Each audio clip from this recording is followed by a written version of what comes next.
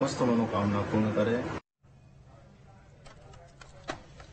और चलिए अगली बड़ी खबर छिंदवाड़ा से, से से सामने आ रही है जहाँ पर सिमरिया में बने भव्य हनुमान मंदिर पर सियासत तेज हो गई है। मंदिर के निर्माण का श्रेय लेने पर राजनीति गर्मा गई है। कांग्रेस आज सुंदरकांड का पाठ करेगी।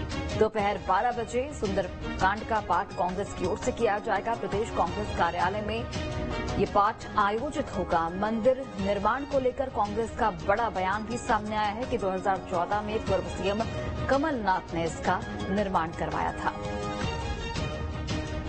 छिंदवाड़ा से बड़ी खबर, बड़ी जानकारी आप तक पहुँचा रहे हैं। सिमरिया में बने भव्य हनुमान मंदिर पर सियासत गर्मा गई है। मंदिर के निर्माण को लेकर क्रेडिट लेने की होड़ मच गई है और इसी को लेकर राजनीति गर्मा गई है। कांग्रेस आज सुंदरकांड का पाठ करने वाली है। दोपहर 12 बजे का वक्त दिया गया है। जब कांग्रेस की ओर से तो सुंदरकांड का पाठ किया जाएगा। प्रदेश कांग्रेस कार्यालय में कार्यक्रम आयोजित किया गया है। मंदिर निर्माण को लेकर कांग्रेस ने बयान दिया है कि 2014 में ही पूर्व सीएम कमलनाथ ने इस मंदिर का निर्माण करवाया था।